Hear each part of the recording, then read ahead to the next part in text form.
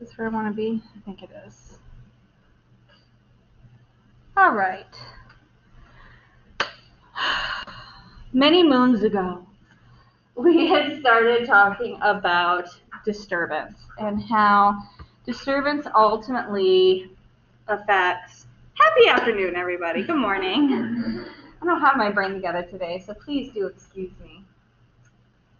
Um, so we have been talking about population tolerances um, and dispersal and abundance.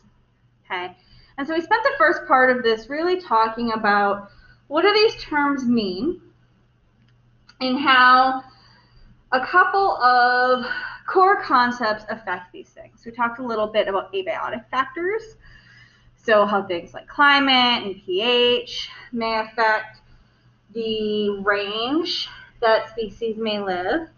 And then we added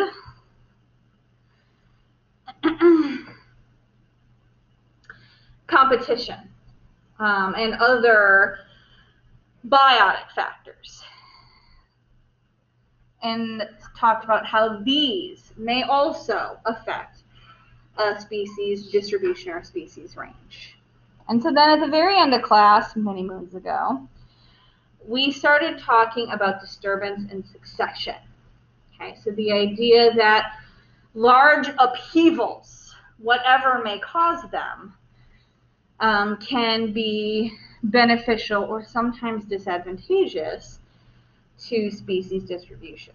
Right, so classically, we think about things like succession, which is what's on the screen here. This is where we left off on class.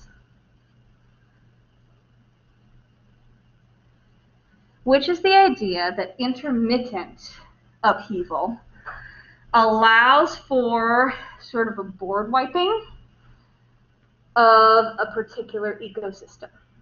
So large, bullyish, or highly competitive organisms that dominate the ecosystem are pushed out. And it gives other organisms the opportunity to exist. Okay, so the example that we had talked about, which are really common for plants, are wildfires. Now we tend to, as humans, have negative connotations with wildfires. But most of the time, when not suppressed for 250 years, wildfires are generally quite natural and are small, right? Because not huge things are dead. And so small wildfires will go through and wipe out a small area like this. Okay. Now, largely the major thing that a wildfire is going to destroy okay, are these heavy duty trees.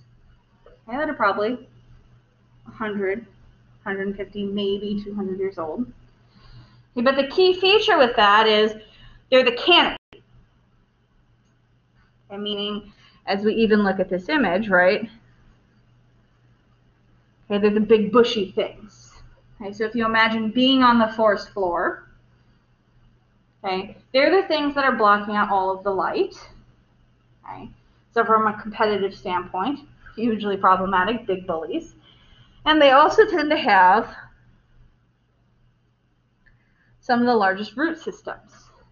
Okay, so again, from a competitive standpoint, big old bullies. So by taking out a handful of these guys, it gives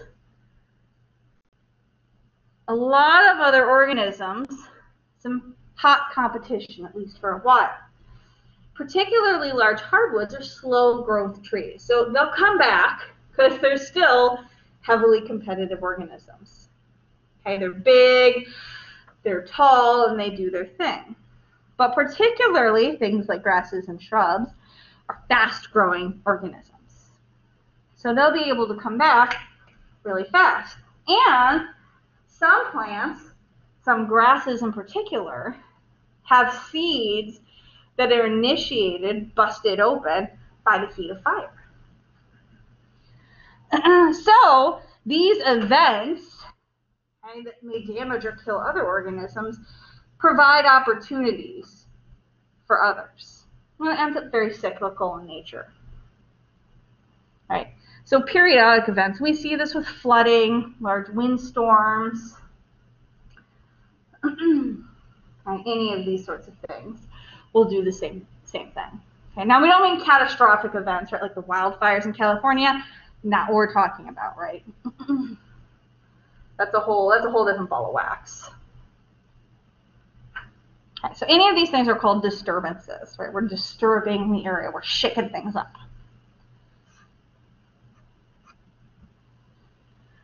Okay, so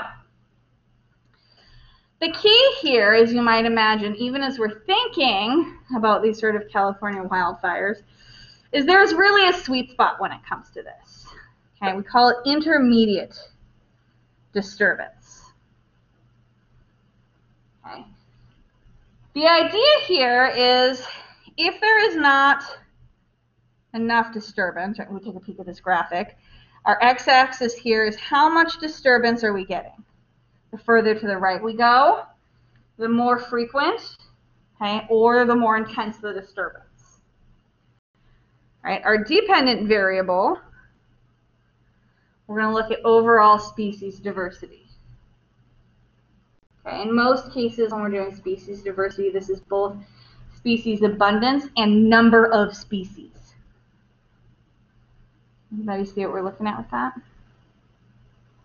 Okay, so here's the key. If I don't have enough disturbance, and this is something humans tend to cause, we don't like wildfires to happen, we don't like flooding to happen. Okay, so you don't have wildfires for 250 years. Then you get reduced diversity. And why? Seems safe enough. Why is this a problem? Okay, what's the problem with living behind the castle walls?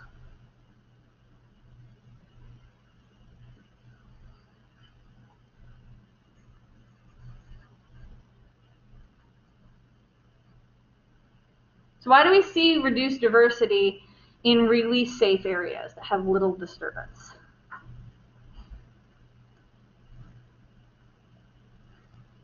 do that much. There's not like, I don't know.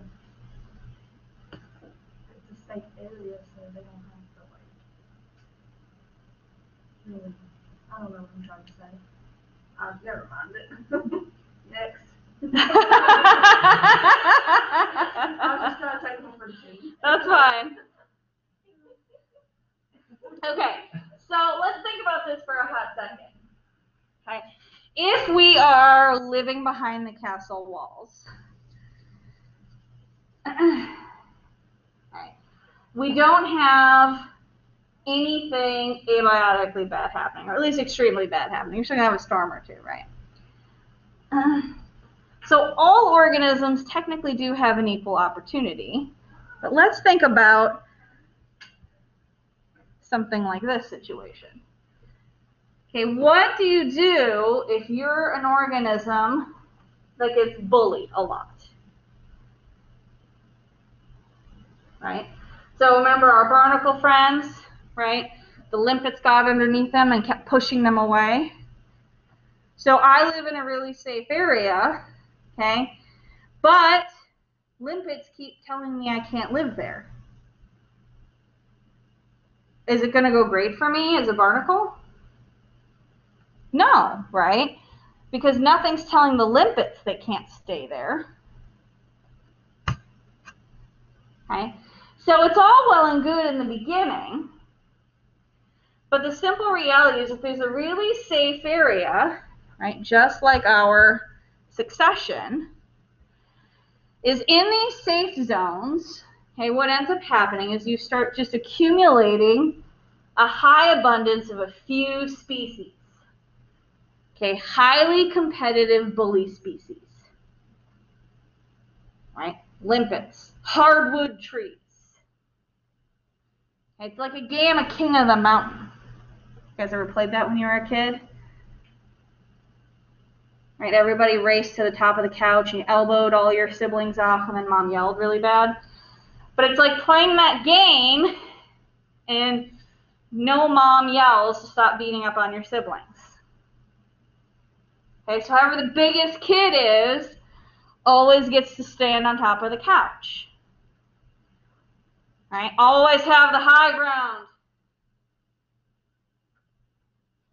Okay, so the biggest bullies always get to stay there because they're the most competitive. And so no one can tell them no.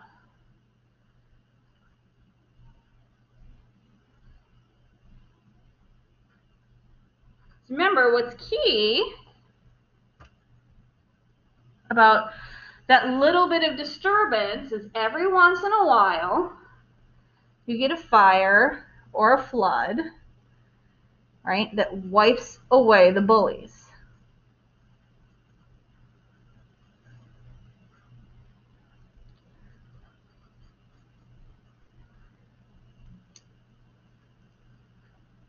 Okay, so at least every once in a while, everybody gets to come back and they get to hang out. Right? The bully gets knocked off the top of the couch, and everybody gets to run back and play on the couch for a little while. Right, till someone gets poked in the eye.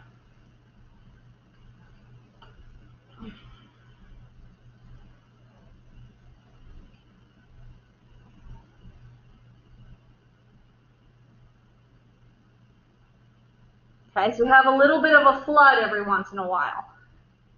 And it wipes away all those bully limpets. The barnacles and the snails and everyone else can come back in and enjoy the safety for a while. And eventually the limpets will come back. Because they get to play too. They're kind of mean.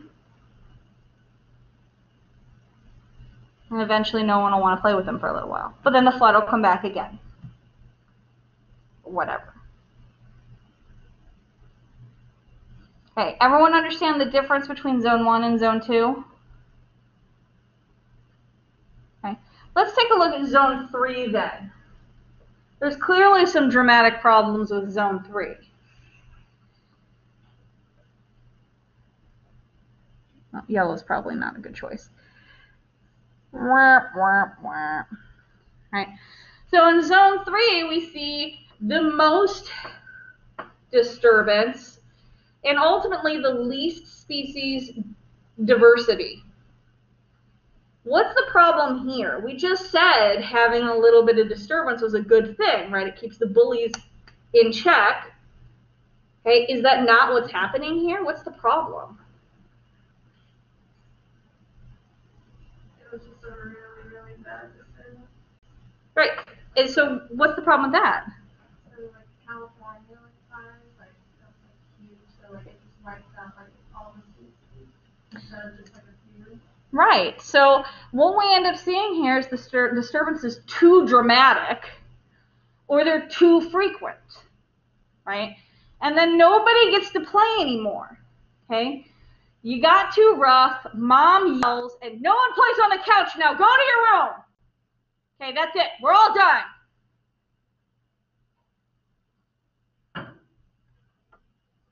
Okay, so you're exactly correct, right? It's too much.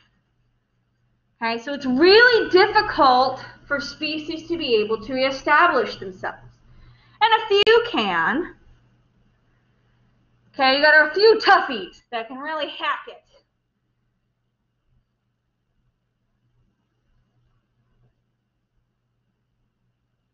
Okay, the weird people in their bunkers or whatever. Right, I'm not leaving. There's always a few animals like that too. They don't mind or can do just fine. A few plants that survive fire no matter what. For example, that was a good example. Okay, but significantly less than in any of these other instances because it's easier to put up with a bully than it is constant death threats. Right?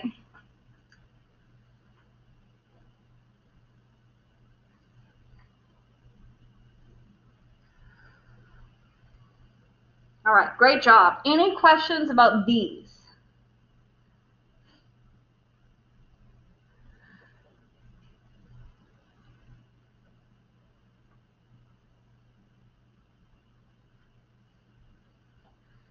I'm flashbacks to my brother pulling my hair when I was a kid now. Okay. Any questions before we move on? That feel good? Right, so let's look at some of the ranges and the limitations that go into how far a species can live. So we've kind of already started to talk about these a little bit. When we're talking about dispersal limitation, we're talking about areas that a species should be able to live, okay? So not because of abiotic factors, right? Normally it's not that it's too cold. I want to live there, okay? But something is keeping me from either getting there or staying there. Okay, there's some sort of problem. Okay, so we call these dispersal limitations. I'm here, okay, I want to be in Texas, for example. Why can't I get to Texas? Because it's a perfectly suitable habitat. There's the right temperature, the right amount of rainfall, the right amount of vegetation. And why am I also not there, my population, right? So this is what we're talking about when we're talking about dispersal limitation.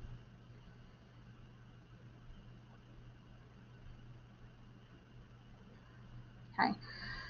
Classically, habitat fragmentation, okay, disconnects between habitat are huge roles in this. So natural versions of this, we might imagine mountain ranges.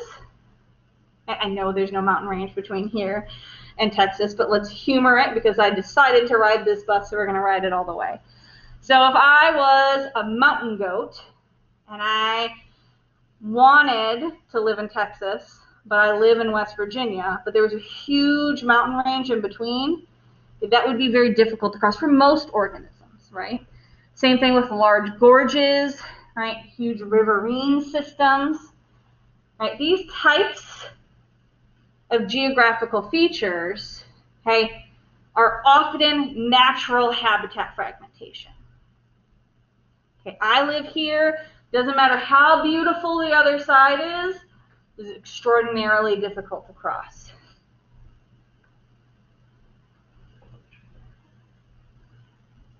Okay.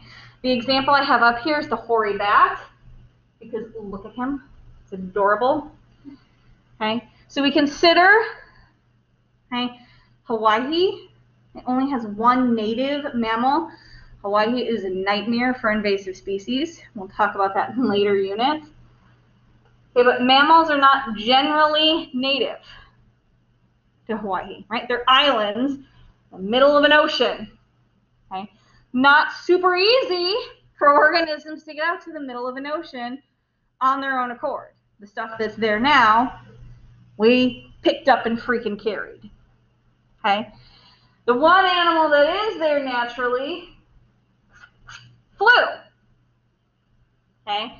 So the habitat fragmentation, the dispersal limitation for most organisms when it comes to islands, okay? Giant ocean. Okay, so not only distance, but crossing a saline body of water like that is not user friendly.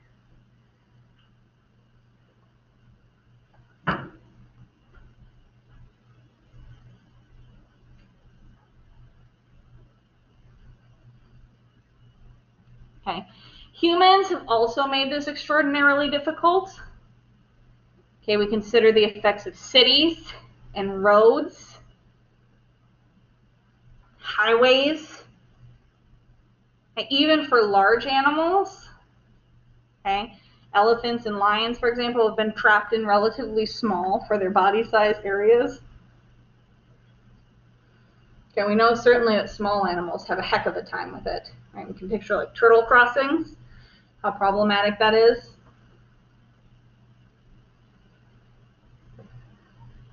Okay.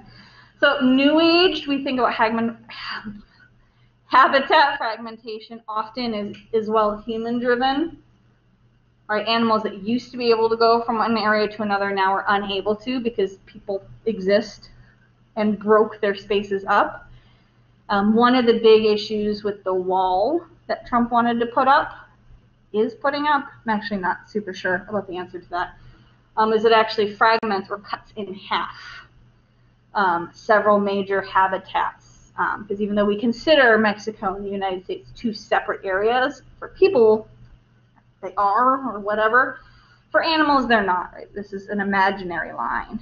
Um, so it cuts major habitats like sloths, for example, just randomly cuts major habitats in half. Oh, there's sloths down there, man. Um, and so it becomes really problematic. So then the other thing we want to consider here is climate change effects. Okay. So what happens, what's the big issue with climate change right now if I'm an organism? What's happening to my habitat with climate change? So what's happened in West Virginia in the last 20 years? What's the weather and climate been like here? You guys are all old enough at this stage. It's gotten warmer, right? You guys have gotten less snow than you got whenever you were a kid. I know I have less snow from where I come from from when I was a kid. Okay? So it's gotten a lot warmer in each individual area. And that's like the easiest, most tangible concept. Uh, so if I am an organism that's delicately sensitive, a very low tolerance, flip back here. So we think about like these guys, right? These guys are very tolerant to the cold, or not tolerant to the cold. And there's organisms that are tolerant to the cold or not tolerant to the hot. So if I'm very not tolerant to heat. If I'm in an area that's suddenly getting warm, what do I have to do? No. What do I have to do? Okay, it's gotten warm here. Where do I need to go? Somewhere colder. And where's that probably? North, right? So we see a lot of these range shifts, right? It's easier for animals than it is for plants. Um, plants do move, right? They drop their seeds. The ones that are more south die. The ones that are more north live. And so you see this actual slow movement of it um, in a very surreal fashion. But it is slow, as you might imagine, right? Animals just walk. Okay, but, right, I'm delicate right? It's too hot for me. I need to pick up and move. Okay, now I have a problem though. I can't get across some habitat fragmentation barrier, a city or a gorge or whatever it is. So now what?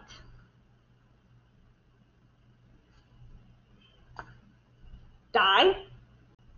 Those my choices. Right? So these are the kinds of issues that start to come up. So we know what needs to happen, but how we actually do it and what needs to occur are extraordinarily difficult. Okay. Any questions about that before we move forward? The risk of already gotten a little preachy. Okay, so let's talk about other ranges. Okay. So some of this that might seem familiar. So the difference between endemic and cosmopolitan. Okay, and so again, how these play into range limitations in the first place. So endemic are organisms that are really local, are only found in small areas in the first place. Okay, so the example I usually talk about this is like possum. Okay, so we have possums here. Okay, pretty much in like the easternish half of the U.S. That's it. Okay, some of them in South America as well, and that's it. Okay, when you say possum in England, they have possums there too. It is not the same animal. Okay, theirs is cute, like it's inviting you to a tea party. Ours is mean, is going to mug you behind a dumpster. Okay, it's an entirely different animal. Same thing with badger, by the way. Like I don't, they get all the cute animals. We do not have cute ones. Um, so those are endemic, right? And there's a whole bunch of species that are like that, right? Possums just like it was a nice visual one. right? Theirs break into bakeries and get fat and look cute and chubby. And everyone's probably seen that meme by now. If not, I will definitely dig it up because it's amazing. Okay, ours, like, I've literally been chased by a possum in the middle of a parking lot when I was your age. Like, they are not nice animals at all. I'm pretty sure there's an entire thing in Bob's Burgers about, like, Little Miss Trashmouth. Or are they raccoons? That, like, Linda's obsessed with. There's a whole family in the background. Like, Little Mrs. Trashmouth. I'm not making this up, guys. I swear. I'm finding these clips this afternoon. Okay, cosmopolitan on the other side, right? are organisms that are wide in distribution. Right, so the example I have up here are rats. Right? So there are a handful of species of rats, and those things can live anywhere. They are not picky. So when we say, like, brown rats here, it is exactly the same as the brown rat in the UK, which is exactly the same as the brown rat in Serbia. Okay, the one that caused the plague, it is the same rat in the entire world. Okay, they all the same.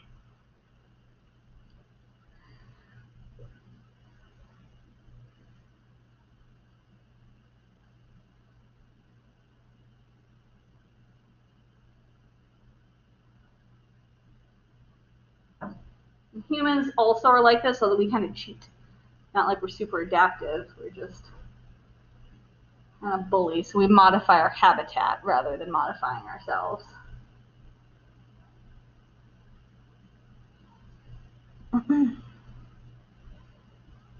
right, so you can also imagine if I have a very small range in the first place, and my range is now fragmented, keeping those populations together, right?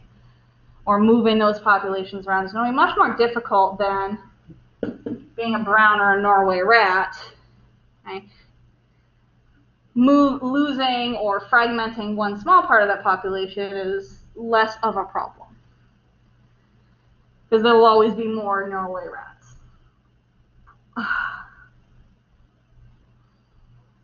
They look much less maniacal. All right, here are some other issues that come up with this. Right despite the fact that we consider major issues, cities have gotten in the way, there's a massive gorge in the way, right?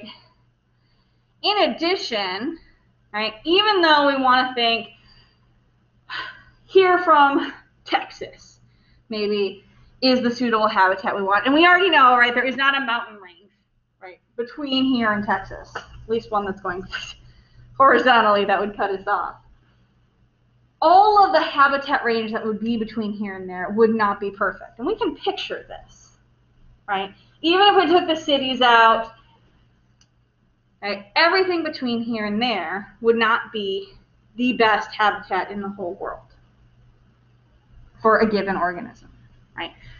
Habitat itself is patchy.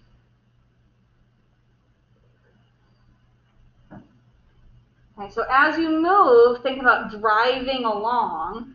Even if you take out the human component, okay, this area has this kind of trees, right, but this area is a grassy meadow. Right, this area is naturally drier or whatever.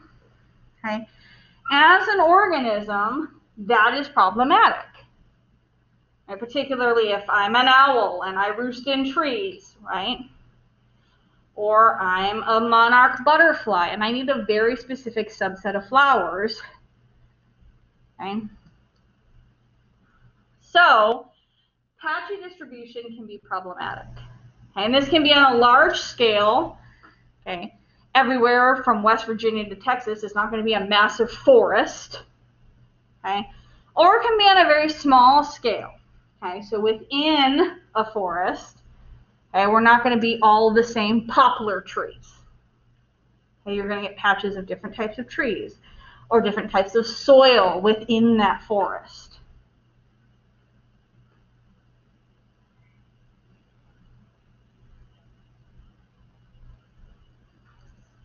Okay. So this patchiness, even with all of the stuff that we just talked about removed, okay, is a large driver of the habitat fragmentation, right, causing struggles of organisms. And I've been very animal driven. But even if we focus on things like climate on the large scale, in soil on the small scale, right, this is going to affect things like plants.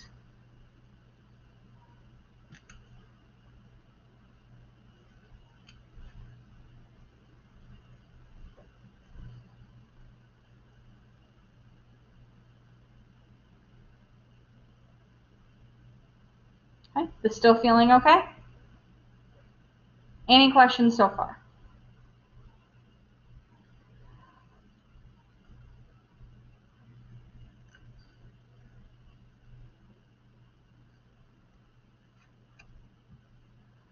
Okay.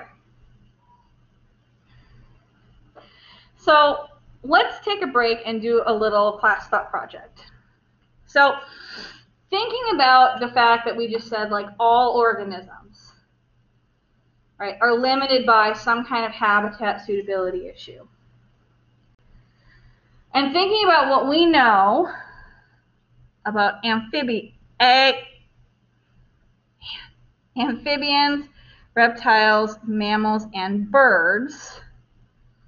Okay, so four groups to think about. Okay, so think about all the characteristics that go into them. Okay. What groups, so we're going to try to rank them, are going to have the most lineages that are cosmopolitan? So we're going to try to rank them to most to least.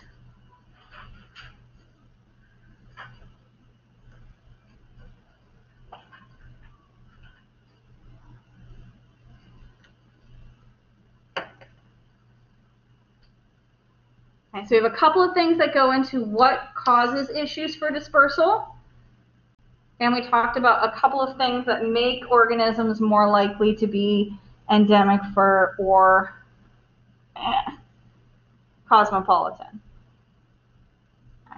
And some of this you may need to dig back if you took zoology with me. We talked a little bit about what are some of the characters of each of these groups. Right? And some of it intuitively what are characters of each of these groups. What's going to make them more successful than others for being cosmopolitan or not. Okay, so we'll give it a hot second or two and then we'll come back and talk about it.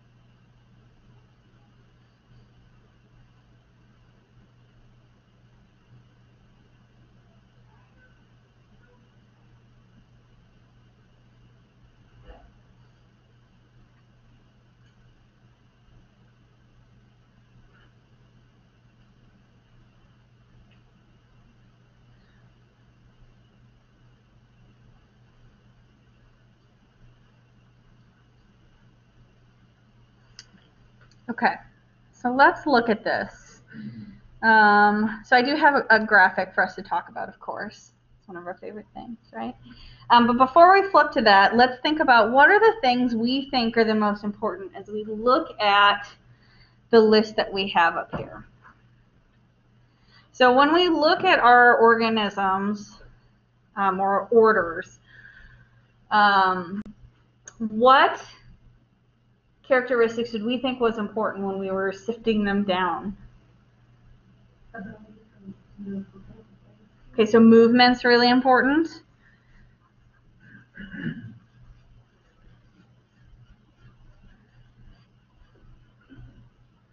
So thinking about that, what was some of our better ranked groups then? Birds.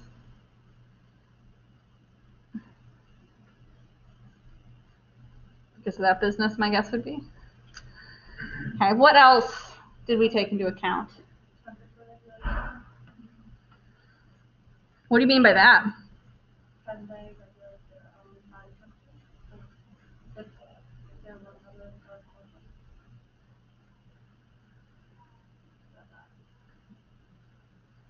All right.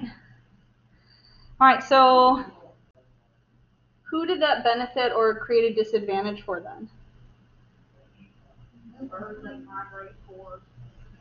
weather. They do. Some do. You said again? So this is correct. So reptiles and amphibs are ectotherms. I right? Yeah.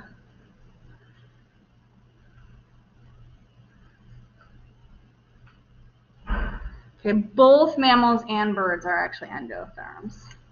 Birds do fly south for the winter, at least some of them do. A lot of that has to do with food. And the same reason that mammals hibernate, right? It's not a lot of food in the winter. That joke that I think someone made about Maine being a deserted wasteland. Right. It is cold, but mostly there's not a lot to eat or do, so no one hangs out. But me, I guess. Okay, so these are really good tips. Was there anything else that um, you guys took into account as a major factor?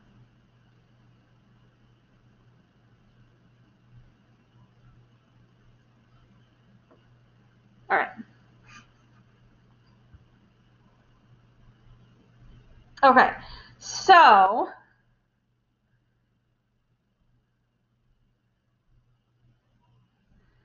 when we look at the list, okay, clearly we used like what you just said, right? Amphibians and reptiles are the lowest on the list. And why are they probably the lowest? The temperature regulation, right? That's um, a huge problem. Okay, they're really limited to what locations that they can go to.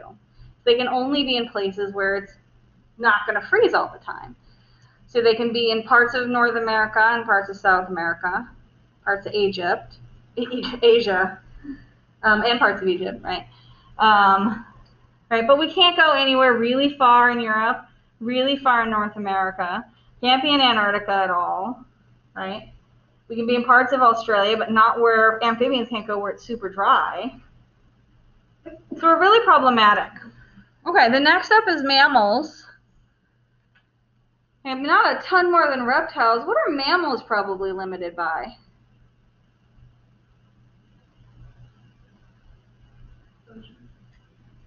Movement, exactly. Right? So we do have much more the birds. That's because we both have our temperature regulation and movement. Excellent job. All right, so my favorite, right? Let's hit us a graph. Okay, so things that will benefit organisms with diversity. Okay.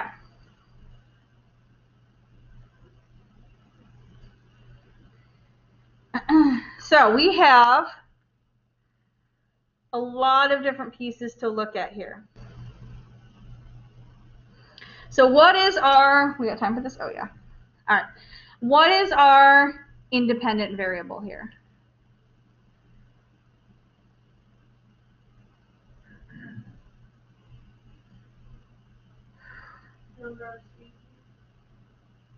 Right, this is our diversity.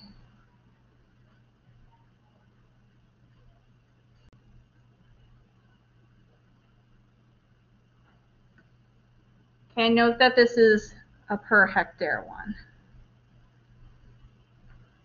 Right, and that's an important thing to keep in mind, right? So this is a density driven one.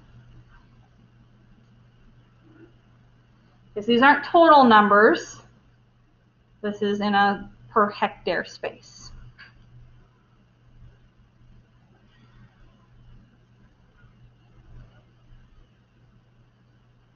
Okay, so what is A telling us?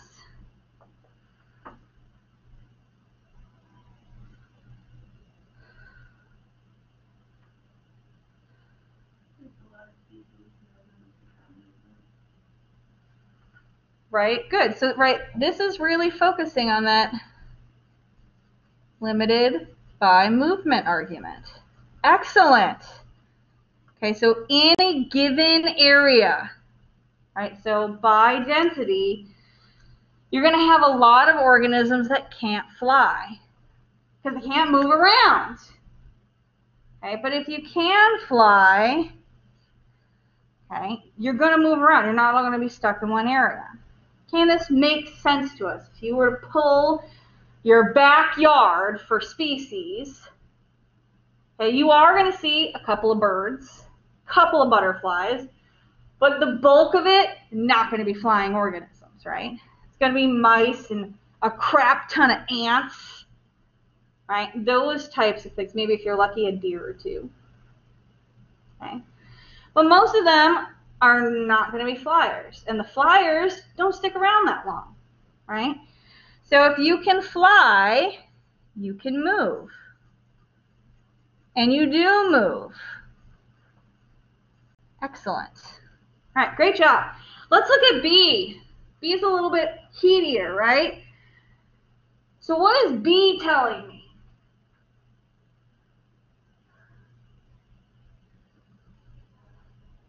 Does it have the same icon? It does, yes, the same x-axis. So we're still looking at total diversity per hectare by density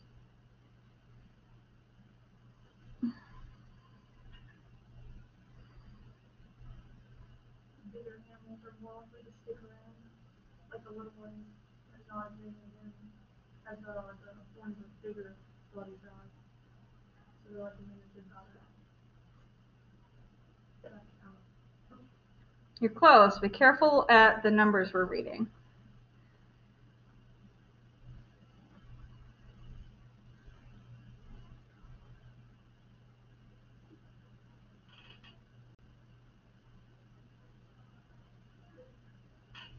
What's the biggest number on here?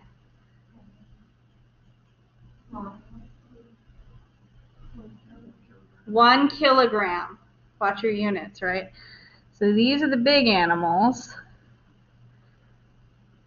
And these are the little animals.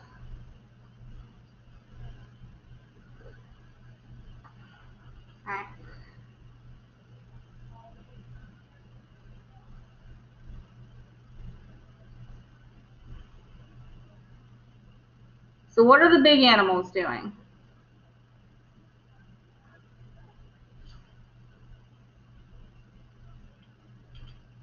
What were the animals that were flying doing? They were moving around, right? There weren't a lot of those. So what are the big animals doing? They're leaving.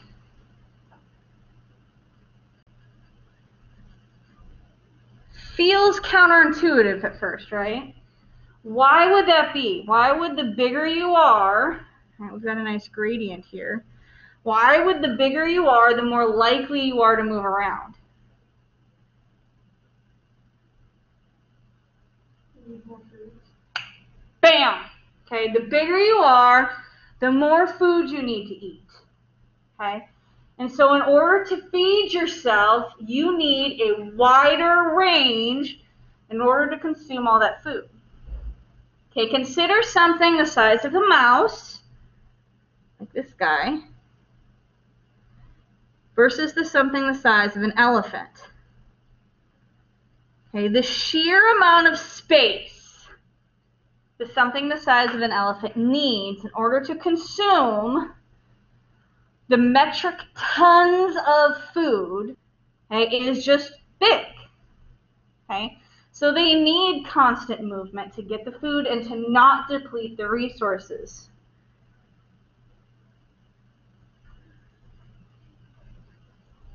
So even though you got to move that big body, okay, they're doing it to have that large resource pool. Okay, whereas little guys, like little mice, are going to have really small territories, right? Which to them feels really big. Okay, but same thing with your ants, right? Your anthill, very tiny bodies, right? They're probably never going to leave four squares in front of your house okay, or your kitchen.